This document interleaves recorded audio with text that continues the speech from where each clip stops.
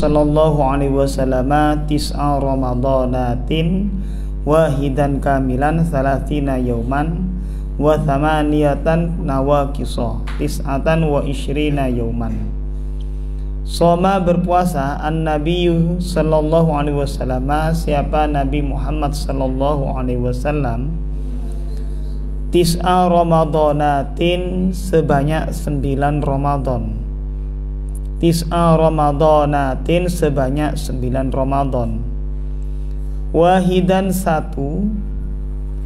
Wahidan satu kamilan yang sempurna. Salatina yauman sebanyak 30 hari. Wathamaniatan dan delapan nawakiso yang kurang nakis. Nawakiso yang nakis. Tis'atan wa ishrina yauman selama 29 hari Maksudnya Nabi Muhammad itu selama hidup dia hanya menempuh e, puasa Ramadan itu hanya 9 kali. Jadi selama hidup itu e, menempuh puasa Ramadan itu hanya 9 kali. Apakah Nabi Muhammad nakal? Bukan nakal, tapi karena eh, apa namanya kewajiban bulan Ramadan itu berpuasa di bulan Ramadan memang agak ke belakang. Jadi sudah Nabi Muhammad sudah eh, hampir wafat. Jadi kalau kita menghitung dari sini berarti sekitar 9 tahun sebelum eh, Nabi Muhammad itu wafat. Nah, sehingga Nabi Muhammad eh, terhadap bulan Ramadan ini hanya nutut ya, hanya nutut kepada sembilan kali berpuasa. Hanya nutut sembilan kali berpuasa.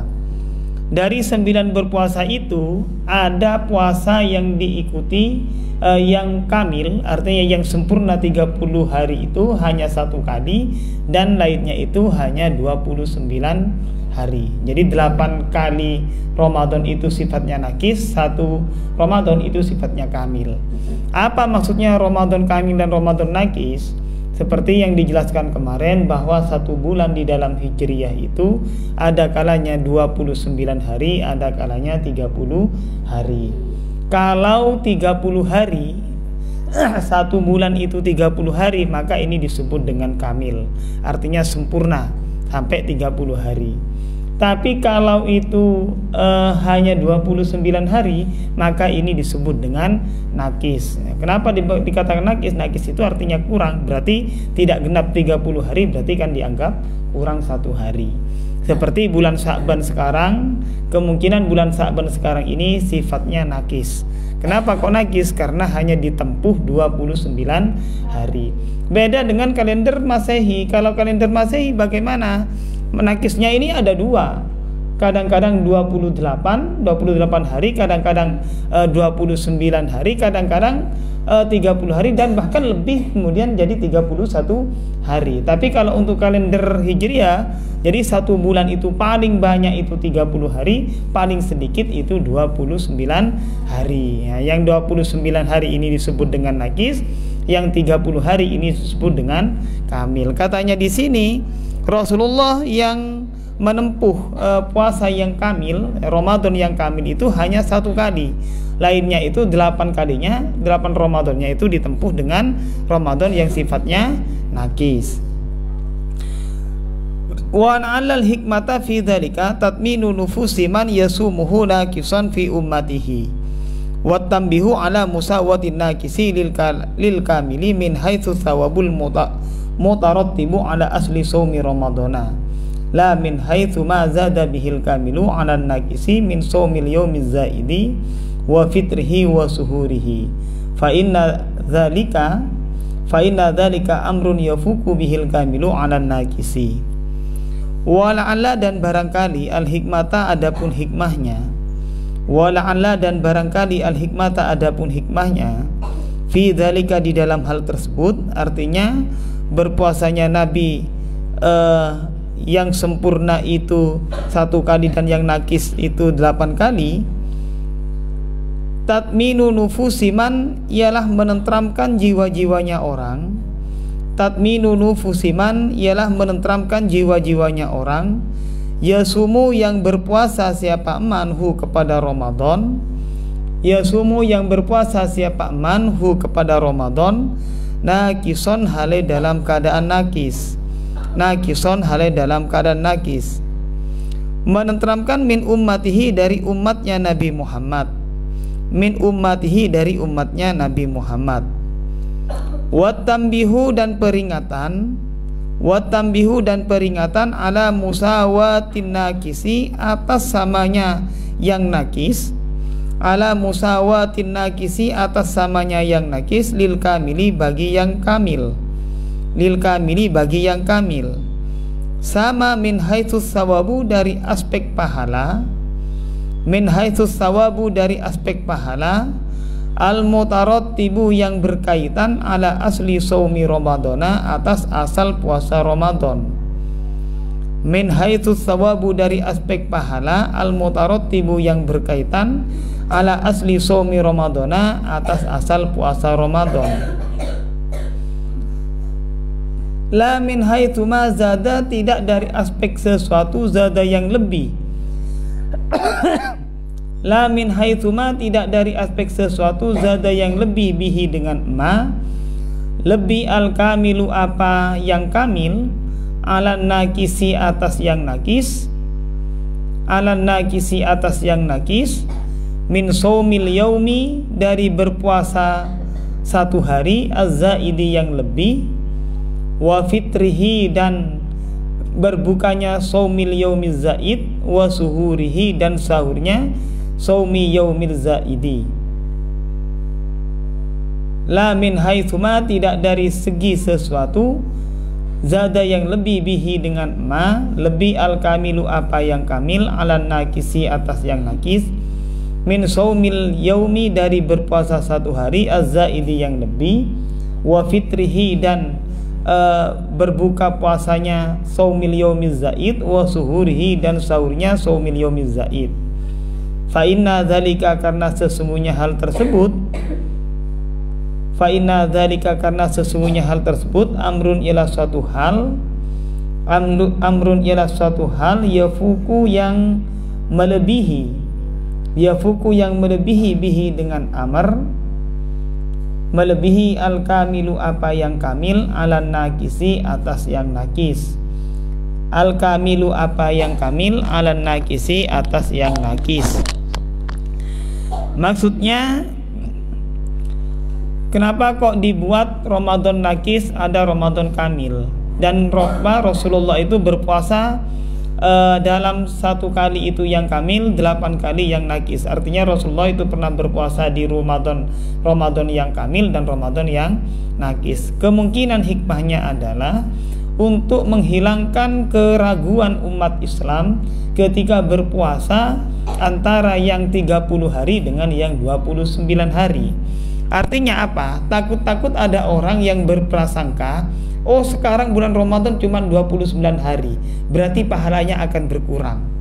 Oh tahun kemarin itu puasa Ramadan itu 30 hari, berarti pahalanya lebih banyak daripada yang 29 hari. Nah, Katanya di sini sebenarnya puasa Ramadan baik 29 hari ataupun 30 hari itu semuanya sama pahalanya yaitu e, tidak ada yang lebih, tidak ada yang kurang. Artinya yang kamil itu tidak berarti lebih banyak pahalanya daripada yang nakis dan yang nakis itu tidak berarti lebih kurang daripada yang kamil. Artinya pahalanya sama. Kenapa? Karena Allah memerintahkan kalian berpuasa itu satu bulan Ya, jadi yang penting karena sudah melaksanakan uh, perintah Allah yang berpuasa itu satu bulan, apakah najis ataupun kamil, maka berarti kalian itu berhak mendapatkan pahala puasa Ramadan. Jadi tidak melihat kepada beberapa kali dia melakukannya.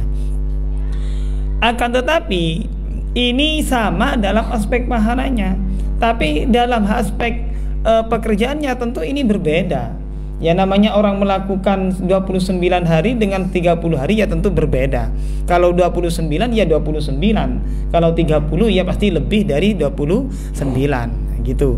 Artinya kalau perbuatannya misal berpuasa nambah kalau 30 nambah satu hari, kalau uh, sahurnya pun juga nambah satu hari, uh, satu kali, kemudian berbukanya pun nambah satu kali. Jadi dalam aspek berbuatnya, perbuatannya tentu lebih banyak yang kamil daripada yang nakis. Tapi dari aspek pahala bagaimana? Ya tetap sama. Yahrumu i'anatul kafiri fi ramadana ala ma la yahillu indana kal akli wasyurbi fin nahari bidiyafatin aw ghairiha kama fi syarqawiyyi wa min dzalika i'ta'uhu i'ta'uhu al-qahwata wal amru bihi Yahrumu haram. Yahrumu haram i'anatul kafiri apa membantu orang kafir. I'anatul kafiri apa membantu orang kafir fi ramadana di bulan Ramadan membantu alama atas sesuatu. Alama atas sesuatu la yahillu yang tidak halal apa ma indana menurut kita alama atas sesuatu la yahillu yang tidak halal apa ma indana menurut kita. Apa contohnya? Kal akli, kal akli seperti makan wasyurbi dan minum. Kal akli seperti makan wasyurbi dan minum fin nahari di siang hari. Fin nahari di siang hari. Bi fatin dengan cara bertamu au gairiha atau lainnya diafah bi fatin dengan cara bertamu au gairiha atau lainnya diafah kama sebagaimana keterangan fi syarqawi dalam asyarqawi Wa min zalika dan ialah termasuk hal tersebut artinya i'anatul kafir. Wa min zalika dan ialah termasuk hal tersebut artinya i'anatul kafir membantu orang kafir. Apa di antaranya i'ta'uhu ialah memberi orang kafir. I'ta'uhu ialah memberi orang kafir al-qahwata kepada kopi. Al-qahwata kepada kopi. Wal amru dan memerintahkan bihi dengan i'ta'uhu al-qahwata wal amru dan memerintahkan bihi dengan zalik jangan pada i'ta pada zalik wal amru dan memerintahkan bihi dengan zalik artinya termasuk dari uh, apa namanya haram membantu orang kafir untuk melakukan hal-hal yang kepada kita itu hukumnya haram jadi kalau di siang Ramadan kita itu tidak boleh makan dan minum. Nah, bagaimana kalau kita punya teman orang kafir yang otomatis dia tidak berpuasa, bolehkah kita menyuguhkan kopi, makanan, minuman dan sebagainya? Karena dia jelas jelas tidak puasa.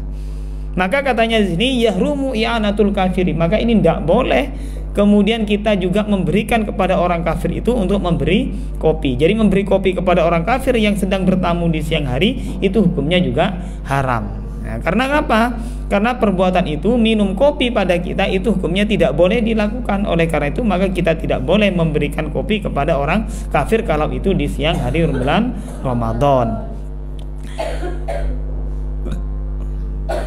Terus dari hal ini ya, dari hal ini juga kita dapat mengkiaskan seandainya ada teman kita yang kemudian dia tidak berpuasa, maka tidak boleh kita menyuguhkan makanan kepada orang tersebut. Contohnya, Alfi ini tidak berpuasa lalu bermain ke rumahnya Alif.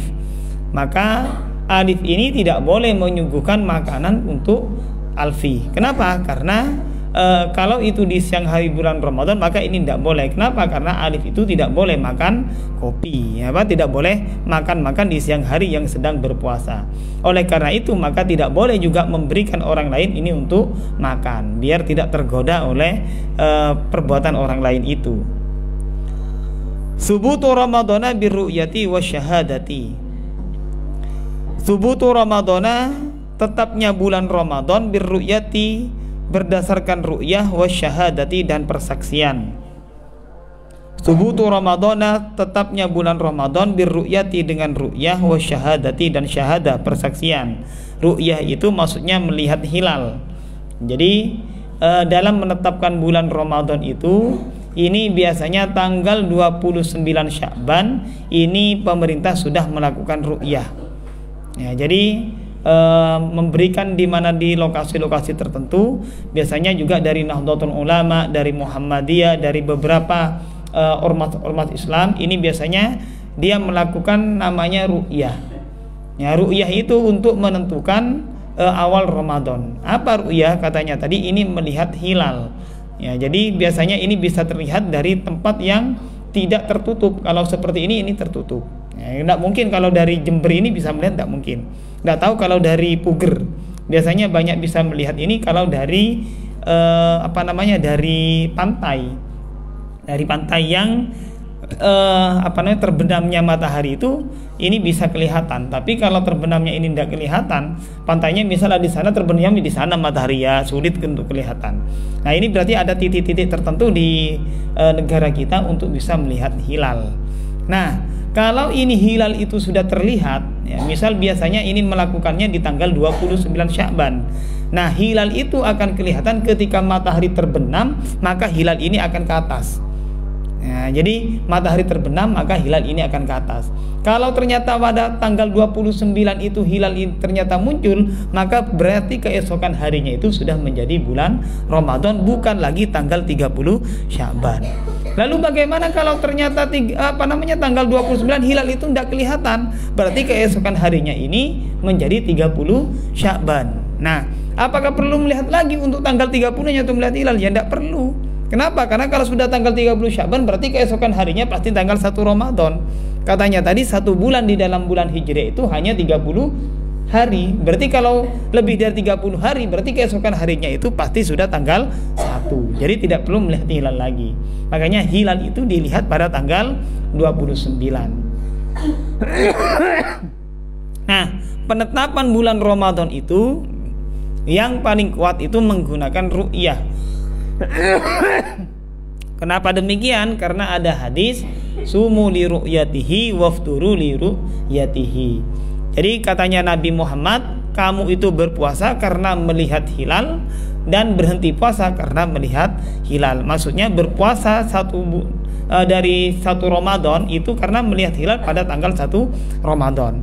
Nanti kita berhenti berpuasa Ramadan itu kalau sudah kelihatan uh, bulan apa uh, hilal satu syawal jadi kalau sudah ternyata di tanggal satu sawal itu kelihatan hilal maka berarti keesokan harinya sudah berhenti puasa. Waf turu liru yatihi itu katanya Nabi. Makanya menetapkan bulan Ramadan itu dengan ru'yah. Ya dasar pertama menggunakan ru'yah.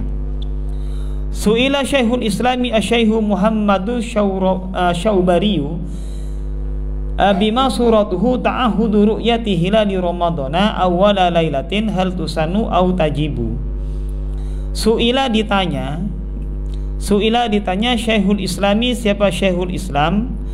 Asyaihu seorang guru Muhammadub uh, Muhammadun Asyaubariu namanya Muhammad Asyaubari berarti Muhammad Asyaubari ini menjadi apa? Jadi atof bayan atau menjadi badal kul mingkul dari mana? Dari asyaihu asyaihu jadi apa jadi sama atau bayan atau badal kul mingkul dari syekhul Islam. Bima terhadap sesuatu suratuhu yang ada pun bentuknya emas bima terhadap sesuatu suratuhu yang ada pun bentuknya emas ta'ahudu ru'yati hilali ramadana ialah menjaga melihat hilalnya bulan Ramadan. Ta'ahudu ru'yati hilali Ramadana ialah menjaga melihat hilal uh, Ramadan awal lailatin di awal malam awal lailatin di awal malam maksudnya awal malam Ramadan hal apakah ini pertanyaannya hal apakah tusanu disunnahkan?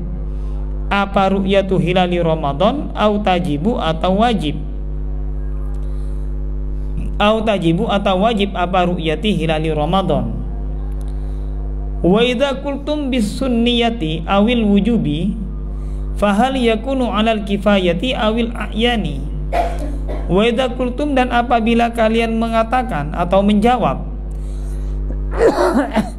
Wa idza qultum dan apabila kalian menjawab bisunniyati dengan kesunahannya awil wujubi atau wajib ya bisunniyati dengan sunnah awil wujubi atau wajib fahal maka apakah fahal maka apakah yakunu ada apa ta'ahudu ru'yati hilali Ramadan? Fahal maka apakah yakunu ada apa ta'ahudu ru'yati hilali Ramadan? Alal kifayati ialah atas kifayah awil ayani atau ain. Maksudnya fardu kifayah atau fardu ain. Wahal mithluhu ta'ahudu hilali syawalin li ajlil fitri amla wahal dan apakah misluhu adapun semisal ta'ahudu ru'yati hilali Ramadan? Wahal dan apakah misluhu adapun semisal uh, ta'ahudu ru'yati hilali Ramadan? Ta'ahudu hilali syawalin ialah uh, menjaga hilal bulan syawal. Ta'ahudu hilali syawalin adapun menjaga hilal bulan syawal. Li ajlil fitri karena berhenti puasa amla atau tidak? Li ajlil fitri karena berhenti puasa amla atau tidak? Wahal dan apakah? Wahal yakunu hilalu sya'bana li ajlil ihtiyati li ramadana mithlu hilali ramadana amla. Wahal dan apakah? Yakunu ada. Wahal dan apakah? Yakunu ada. Hilalu sya'bana apa? Hilal bulan sya'ban maksudnya menjaga melihat hilalnya bulan sya'ban li ajlil ikhtiyati karena berhati-hati. Li ajli itu lam huruf jarnya itu lam zaidah. Li ajlil ikhtiyati karena berhati-hati li ramadana untuk uh, puasa Ramadan atau bulan Ramadan li Ramadana untuk bulan Ramadan mitlu Ramadana ialah sama seperti hilal bulan Ramadan. Mitlu hilali Ramadana ialah sama seperti hilal bulan Ramadan amla atau tidak.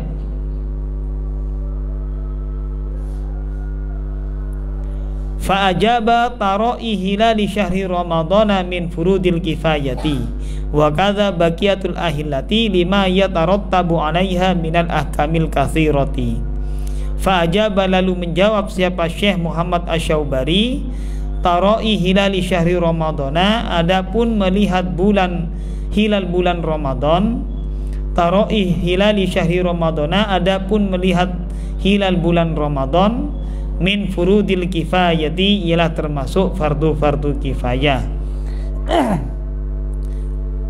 Min furudil kifayati ialah termasuk fardu-fardu kifayah. Wa dan ialah demikian juga wa dan ialah demikian juga bagiatul ahilati adapun sisa bulan-bulan yang lain. Wa kadza dan ialah demikian juga baqiyatul ahilati adapun sisa bulan-bulan yang lain. Kenapa? Lima karena sesuatu. Lima karena sesuatu ya tarot tabu yang berkaitan apa ma lima karena sesuatu ya tarot tabu yang berkaitan apa? Ma alaiha terhadap tarot ihilali syahri. Minal ahkami berupa hukum-hukum al-kathiroti yang banyak.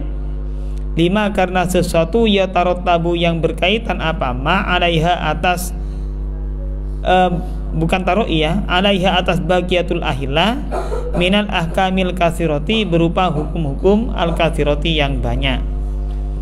Maksudnya suatu ketika Syekh Muhammad Asyaubari ini ditanya apakah kita memperhatikan atau menjaga untuk melihat uh, hilal bulan Ramadan ini wajib atau hukumnya sunnah?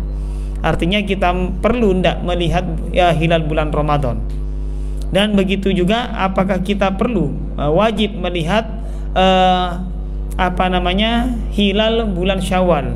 Begitu juga bulan Sya'ban kenapa? Karena kalau kita memperhatikan bulan Syawal agar kita tahu bahwa sampai kapan kita berhenti puasa.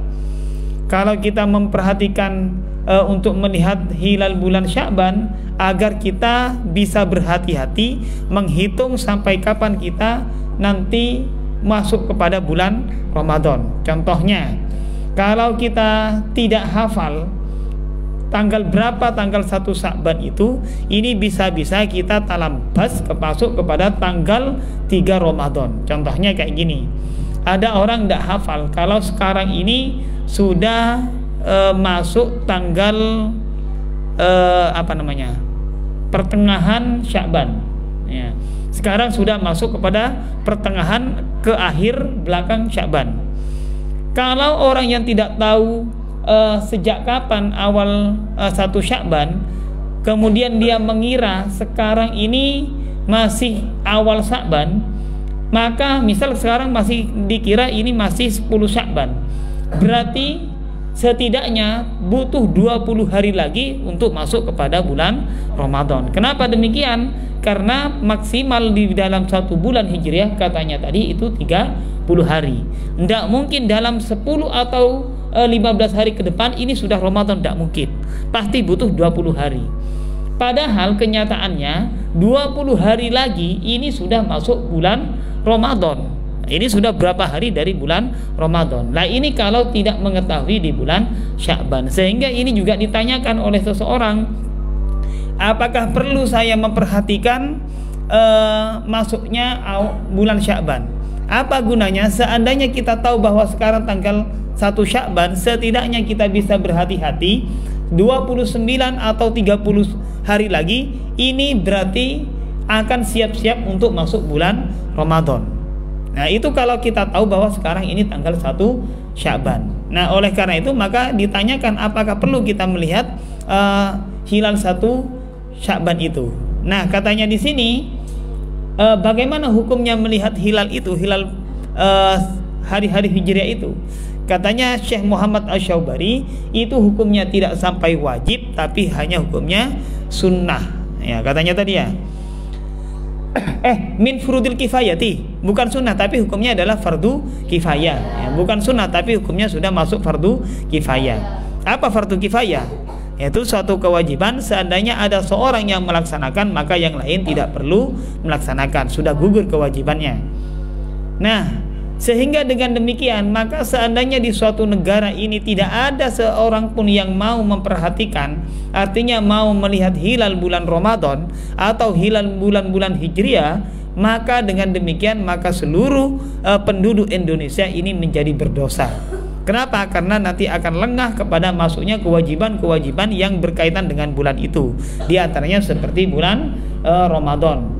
Dan kalau kemudian dia tidak tahu bahwa uh, di bulan-bulan itu kemudian dia lengah bahwa ini bulan Ramadan, bulan Syawal dan sebagainya, kemudian dia berpuasa dan ternyata jatuh kepada hari-hari yang diharamkan untuk berpuasa seperti Idul Fitri, Idul Adha. Lah kemudian dia berpuasa pada hari-hari itu, maka berarti orang tersebut ini sudah menjadi berdosa karena pada hari itu tidak diperbolehkan untuk berpuasa. Nah, kalau begitu berarti sangat berkaitan awal bulan ini sangat berkaitan dengan hukum-hukum Makanya kemudian katanya Syekh Muhammad Asyaubari hukumnya melihat hilal itu adalah fardu, hukumnya adalah wajib, tapi wajibnya wajib fardu kifayah. Kenapa? Karena cukup dengan satu orang itu melaksanakan diketahui dan ini ternyata dibenarkan oleh negara, maka berarti seluruh umat Islam sudah tahu bahwa uh, tanggal itu memang sudah masuk tanggal 1 Syakban atau 1 Ramadan dan bulan-bulan yang lain. Jadi tidak perlu kemudian seluruh Indonesia rame-rame kemudian bawa pinggir pantai. Nah, tapi kalau itu jadi tradisi, ini lain ceritanya. Biasanya tidak lihat hilal, lihat orang yang lihat hilal akhirnya. Gitu kayak orang uh, tahun baru itu, tahun baru itu yang menarik bukan karena tahun barunya, bukan tanggal satunya, tapi yang menarik karena banyak orang Coba seandainya kalian sendirian saja di hutan tahun baru, saya yakin kalian tidak akan senang, biasa aja. Gitu. Ini karena orang tahun baru itu karena melihat orang yang melakukan orang tahun baru. Ya, kalian orang lain melihat kalian, kalian pun juga melihat orang lain. Sebenarnya itu yang uh, apa yang ada di dalam tahun baru. Nah, gitu. Dan ini faktanya. Jadi bukan karena uh, tanggal 1 Januarinya, tapi karena banyak orangnya. Makanya ketika pantai itu misal ditutup, misal seperti barusan pantai itu ditutup karena ada covid maka ternyata pantai itu tidak semua orang merasa bangga dengan datangnya 1 Januari. Saya biasa boy kenapa kok biasa? Iya karena tak bisa ngaleleng ya berarti yang membuat membahagiakan itu bukan tanggal 1 Januarinya tapi karena banyaknya orang. Begitu juga mungkin ketika uh, semua orang uh, penduduk Indonesia, rakyat Indonesia disuruh melihat hilal, mungkin yang menarik bukan melihat hilalnya nanti, tapi melihat orang yang melihat hilal. Cobalah mau tak percaya, nah, gitu. Nah, di Jangkar itu di Tubondo, pantai Jangkar itu yang buat menarik itu sebenarnya kalau Ramadan sore-sore kayak gini itu bukan karena pantainya, pantainya ya biasa saja. Pasirnya tidak berubah antara bulan Ramadan dengan bulan hari-hari biasanya. Tapi yang buat menarik biasanya kalau sudah sore sore-sore kayak gini jam 4 ke belakang kalau bulan Ramadan ini ini banyak santri-santri dan pemuda-pemudi itu ngumpul di sana. Akhirnya menjadi menarik karena melihat uh, sesuatu yang baru. Ya, gitu. Nah, ini yang membuat menariknya itu. Padahal pantainya biasa saja tidak berubah. Ketika sunset ya tetap seperti itu, tidak mungkin ketika bulan Ramadan sunsetnya itu mataharinya giling-giling ke mana keluyuran, tidak ada ya langsung tenggelam ya sama, tidak keluyuran-keluyuran duduk sama saja gitu. Pantainya pun juga kayak gitu. Ndak kemudian pantainya kalau bulan Ramadan ini menari-nari di atas ombaknya. Ya ndak ada sama aja. Ya. Cuman yang menarik itu karena banyak orang yang berkumpul di sana. Nah, sehingga kalau ru'yah itu pun juga dilakukan kayak gitu, maka yang menarik bukan ru'yatul hilalnya tapi yang menarik karena berkumpulnya. Sudah cukup. Yathbutu Ramadanu bi ru'yati adlin wallahu alam bisawab. Al-Fatihah.